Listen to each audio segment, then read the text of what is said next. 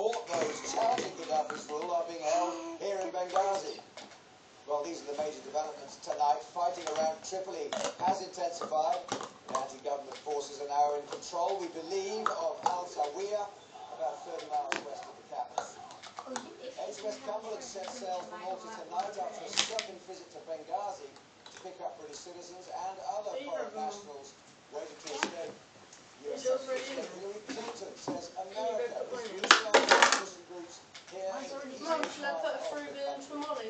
Well, the first of our reports tonight comes from our foreign affairs editor, Tim Martin. He's on Are the you border for me? with Tunisia, watching events unfold from the west of Libya. This is his report.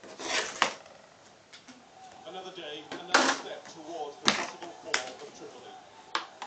Al Zawiya is just 30 Well, can I miles west of the capital along the coast. The town now appears to be controlled by